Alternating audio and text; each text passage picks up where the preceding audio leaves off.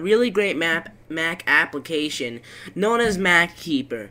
Mac Keeper is for any really hardcore Mac user that wants to keep their Mac clean and in top shape and it's just a really nice utility that everyone should be interested in. So let's open it up. As you can see, um, you have your statuses. Now what this does is it checks for any, have you heard of Mac Cleaner? It basically does the same thing as that except with a whole bunch of more features. So, as you can see, it scans your Mac for binary cutters, cache cleaners, duplicate files, language cutter, old files, and it finds all these files that they think your Mac doesn't need anymore and you're able to delete them. And it saves gigabytes upon gigabytes of space. Um, so if we go to one-click scan, all I have to do is tap that. Wait for this to load here. And as you can see, it's scanning for all these files that I don't need. And then I can just press remove once it's done and delete all of the unneeded files. Okay. So you under the tools menu, you could back up your Mac there's data encryptor, default apps, disk usage, login items, shredder. Shredder is something I really think is interesting because it is kind of like AppZapper. You drag apps in here and it totally deletes them. Cause when you delete, cause when you delete, just say um. Let me find an application here really fast that I don't think is that necessary. So anyway, I have this app called Spartan. If I drag that in to Mac sh a shredder, I should say. I could just shred that. And once that and what that is going to do is um, delete the application permanently.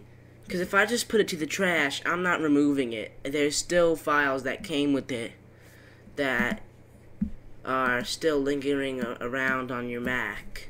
Okay, so while it's shredding that, I could show you some services. They have something called anti-theft. And this is something I've never seen in any other Mac app, and I've never seen this in general.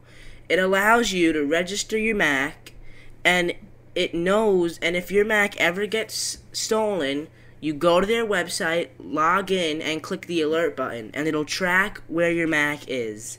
So, I mean, I guess if someone breaks into your house or you bring it somewhere or something, and I don't know, I guess this is for like MacBooks, but really, an iMac is not going to get stolen that easily.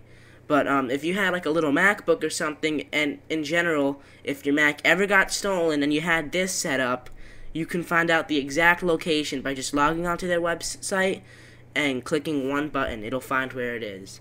Geek on Demand is basically a really nice thing. If we go to status statuses, it's live chat feature. Um, and what it does is it allows you to ask any question Mac related and they'll be able to answer it. Um, so as you can see, we can get rid of that bar. It does a really nice animation, which I like those little type of things. So we can, we we can um do a live chat, and it'll ask you for your contact information, and you could start a chat, and then you'll just be able to talk to them and ask any questions.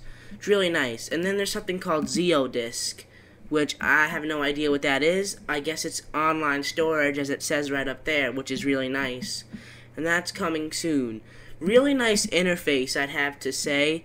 Um, I give this app, uh, well, it depends what you use it for, but I find it very helpful, and as you can see, I already saved 28 gigabytes, which is insane. Now, you don't have to delete everything, because sometimes there might be stuff that is unnecessary to delete, and then and the um, application finds something that's wrong.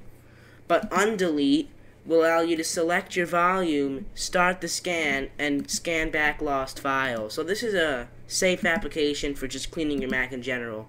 Check it out at MacKeeper. Their link will be in the description. It's $40. It's a great application for any of you Mac users, and I hope you found this interesting. Thanks for watching. Please comment, comment, rate, subscribe, and have a nice day.